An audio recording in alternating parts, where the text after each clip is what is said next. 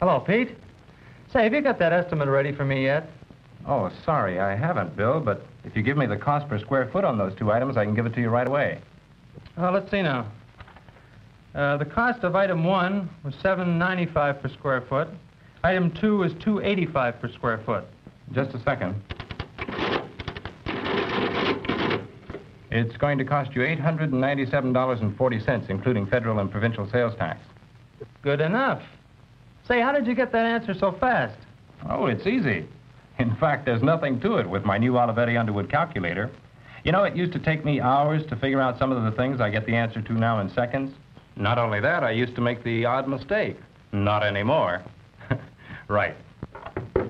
Why not call your local Underwood representative for a demonstration of what this remarkable new calculator can do for you? It's the fastest way to calculate or estimate with complete accuracy.